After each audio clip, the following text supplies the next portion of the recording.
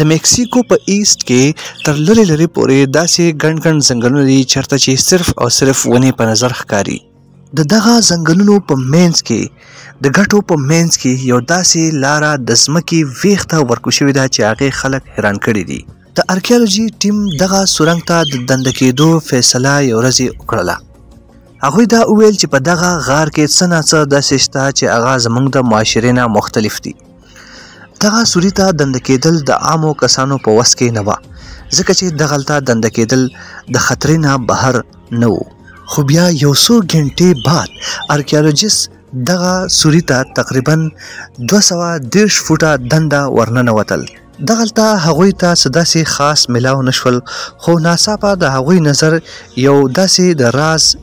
چمبر باندې ولګېدو چې دغه چمبر ته د دنده کېدو لارې په یو غټ ګټ سره بنده کړې وه خو سوال دا و چې آخر کار په دغه ځنګل کې دغه چمبر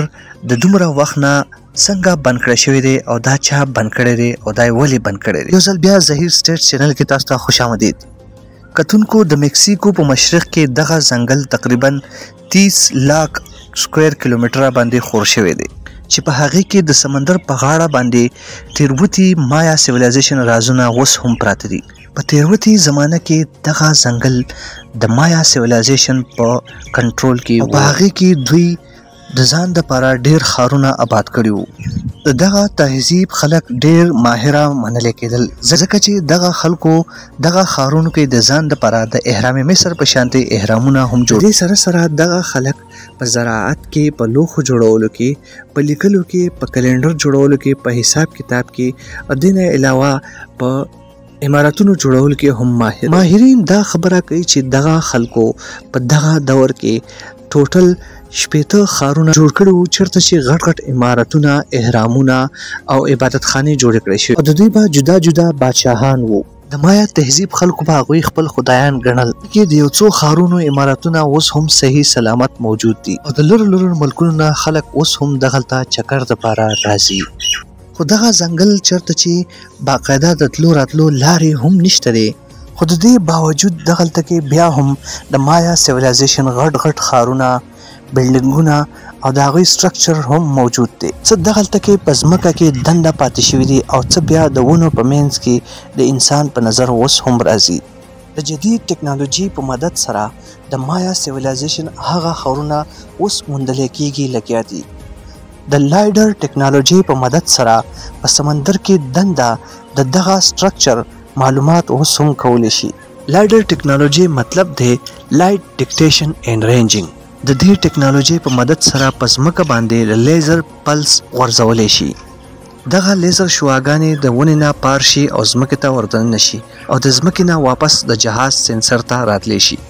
بیا دغه ډیټا د پروسس کېدو نه بعد د دغه ګراوند یو خاص شکل تیار کړی شي د دې مثال د یو خاص ایکس ری دی کوم چې زمونږ د بدن یو خاص شکل جوړوي ګرانتیا خبره دا ده چې د ماین سیویلایزیشن تر اوسه پورې د 4500 نه زیات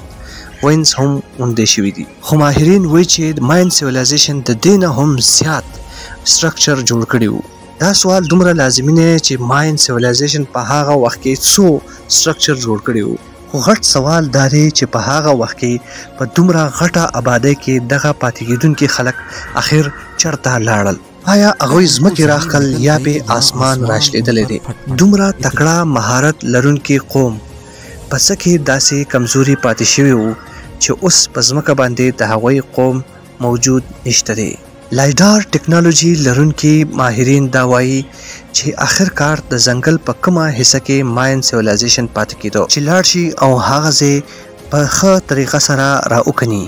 د ګلف آف مکسیکو یوکاټان حصه کې ارکیالوجیست ته د ماین سیولایزیشن یو وړوکی شانتې کلی میلاو شوی و دغه کلي ته کي ویک ویلی شي چرته چي یو بادشاه په کال اته سوه یعنی نن نه دولس سوه کاله مخکي یو اهرام جوړ کړی وو او هغه یې هم د مختلفو ګټونه جوړ کړی وو.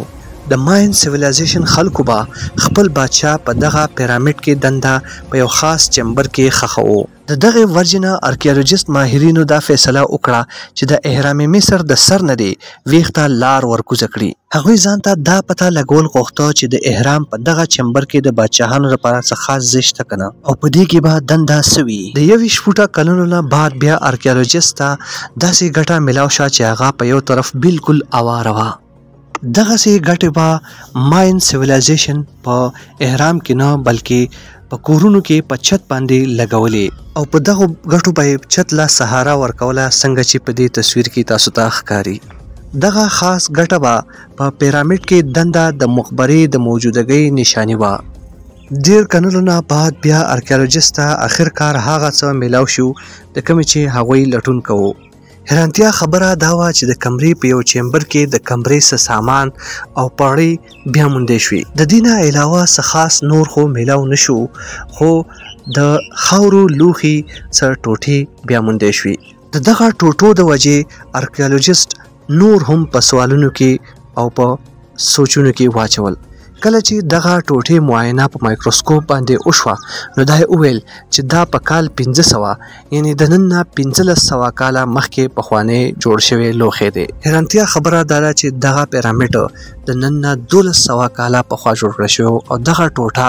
د نن نه 1500 کال یعنی د پیرامید نه هم 300 کال په دغه خبره د آرکیولوژیست لپاره ډیره ناممکنه خبره وه داسې ولې ممکنه نه ده د دې لپاره به منګه د تاریخ مطالعه کوو د تاریخ نه مونږ ته دا پته لګي چې د یوکاټان دغه حصہ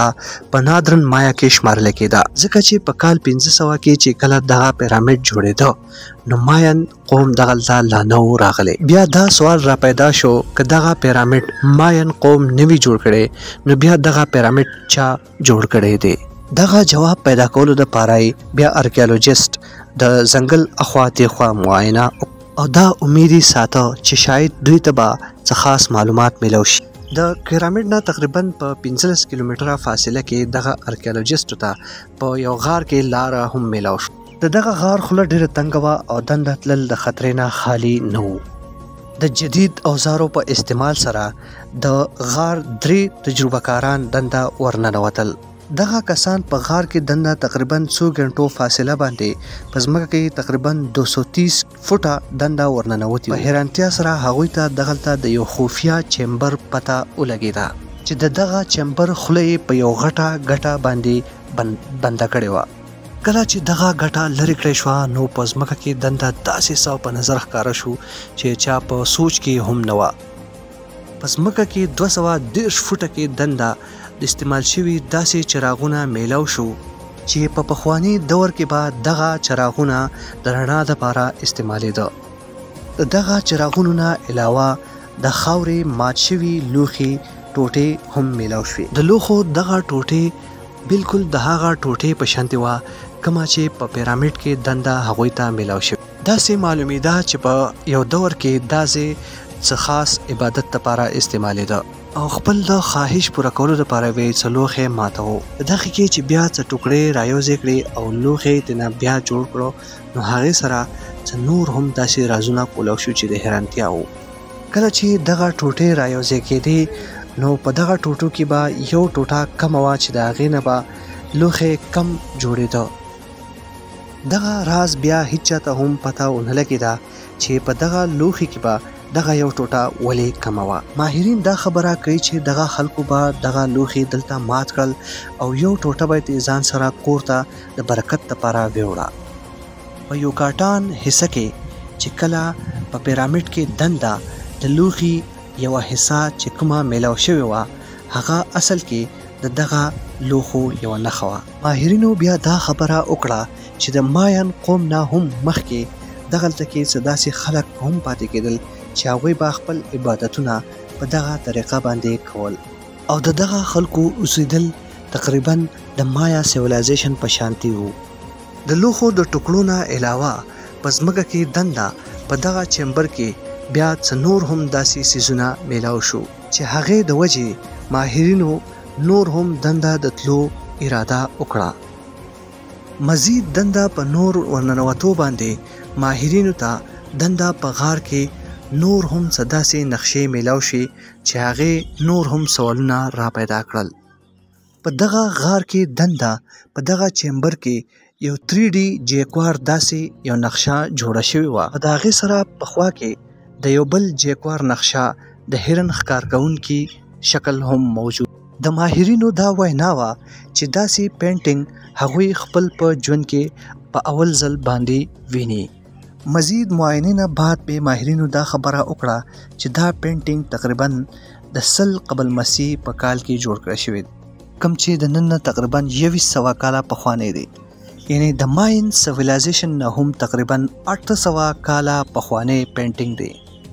د دینه ماهرینو ته دا پته ولګیدا چې د ماین سیولایزیشن نه هم مخکې دلته یو بل سیولایزیشن یعنی بل تهذیب پاتې کېدو دغه تهذیب بالکل د ماین سیولایزیشن په شانتي وو کوم ته چې بیا ماهرینو ارلی یا کلاسیک ماین سیولایزیشن نوم کېښودو اوس سوال دا دی چې خپل د دغه وخت یو ماهر قوم ماین سیویلایزیشن سره داسې څه وشوه چې هغوی داسې په پرېښودو باندې مجبور شو او دا سوال اوس هم د ماهرینو لپاره یو غټ راز پاتې شوی دی او که چېرې تاسو ته د دې سوال پته وي نو ضرور مونږ ته په کمنټ باکس کې ولیکئ